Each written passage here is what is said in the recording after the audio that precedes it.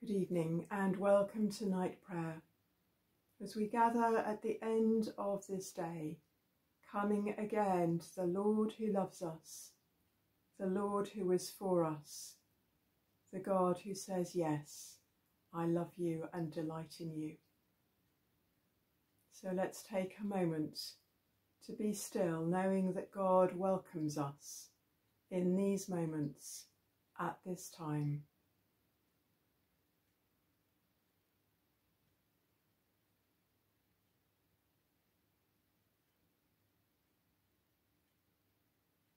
A verse from Psalm 131, verse 3. O Israel, put your hope in the Lord, now and always. The Lord Almighty grant us a quiet night and a perfect end. Our help is in the name of the Lord, who made heaven and earth.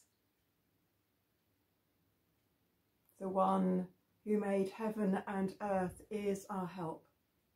He's been with us through this day, helping us whether we've seen him or not. So take a moment to reflect and bring to him the joys and the sorrows and the frustrations of this day.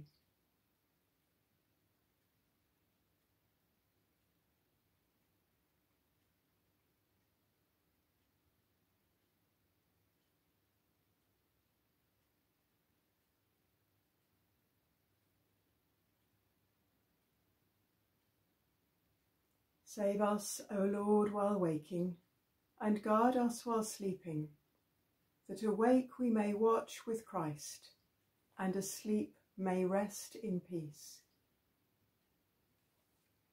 We're thinking about bless and how we can pray for others as well as for ourselves. We come to E for emotions. And that we have that well known verse from John 11, verse 35. When Jesus met the women at Lazarus's tomb, Jesus wept. Emotions can sometimes have such a negative connotation when people can say they're so emotional and all their emotions are out of control. But yet our emotions matter they're God given, the extremes that we have, but also the everyday things joy, laughter, frustration, irritation, happiness. All of these matter, they're part of us. And when we are stuck in our emotions, God knows and God cares. He knows when we don't know what to do. He knows when we're overtired. He knows when we're um, overwhelmed with grief.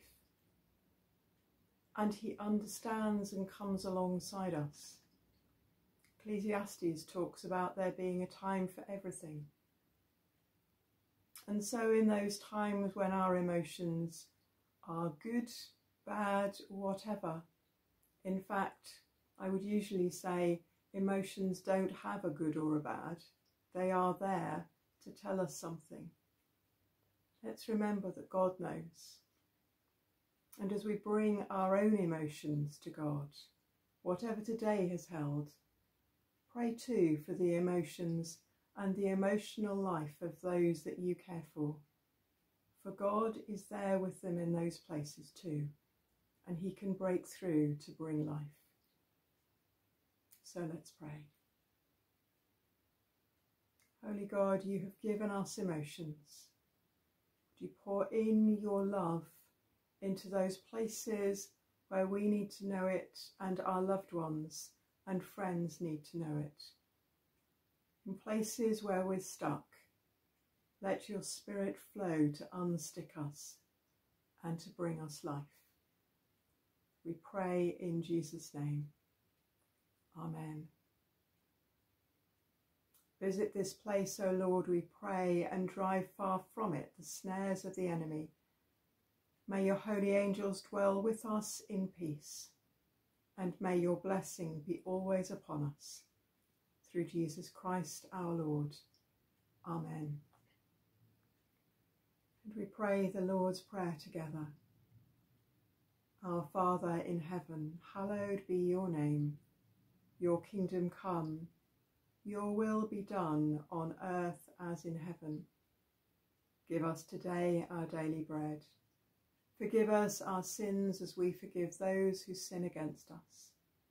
Lead us not into temptation, but deliver us from evil.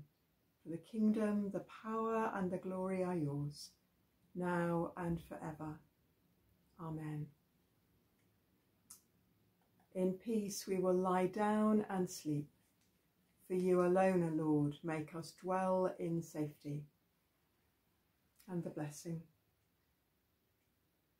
From this day on, from this unremarkable hour, from this moment history will not record, God's blessing comes to you. Amen. Bless you and sleep well.